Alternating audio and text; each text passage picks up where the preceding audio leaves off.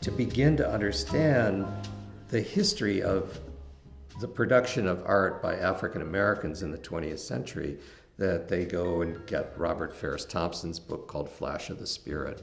What I think about Ellis Ruley, it's hard to compact it because he's a very important guy. Why I think he's an artist, not with any adjective, an artist like Degas, like Rouault, an artist, period. So we get him out of all these ghettos and into where he is if people would just see it in the mainstream of uh, Western art. But uh, this guy is real.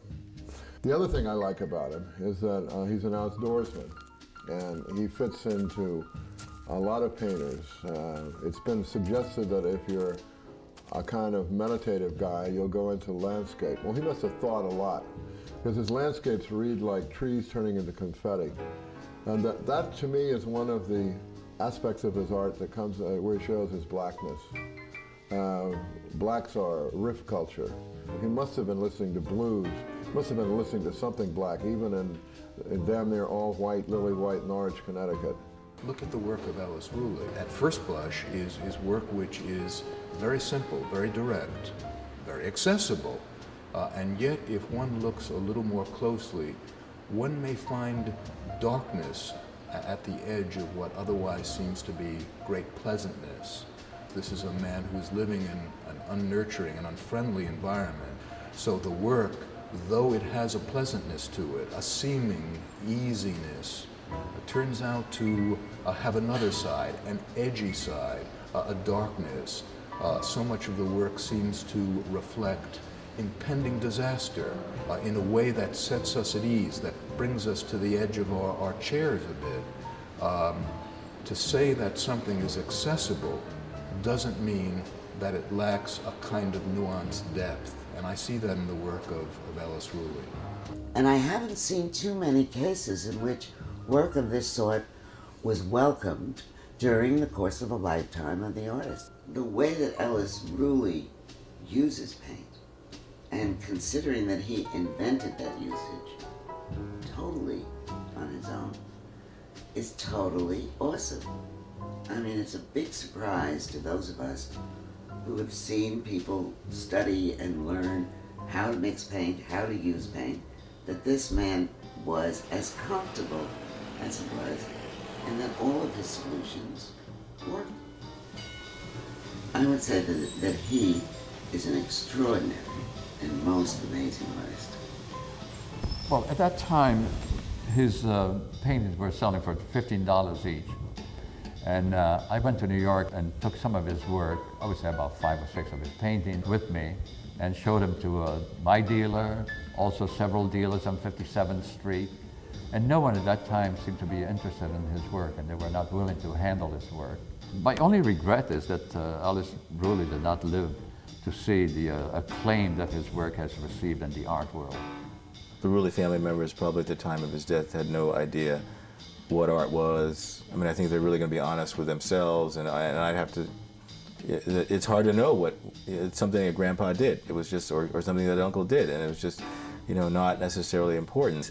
It's it's his work, you know. It's what he did. I value him as a person, so I value his work in terms of the contribution that he made to my life and to, to our family's life, and so it's something that he left. You know, it's something. It's you know, it's like the, the, the, watch or like the, maybe that's how it could be perceived at that particular time. It's, it's, what, it's, it's what he left.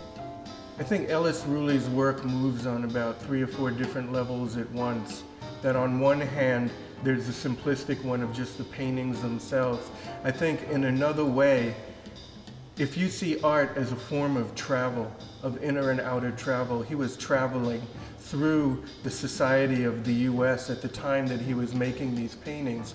So he was testing a lot of corners and he was testing a lot of edges in the sense of, um, of where he stood in relationship to the, to, the, to the overall society. And I think that maybe at one point we'll stop seeing the Ruleys for one thing and maybe appreciate them for the sheer pathos of his struggle and what it was he was trying to work out through the work and the fact that he could make this work at all in a society which was down on people like him making the work. But I think as you go on with the work, layers and layers of of appreciation, the way you appreciate them change. The work has always been what it is. It's our looking at it that, that continues to metamorph.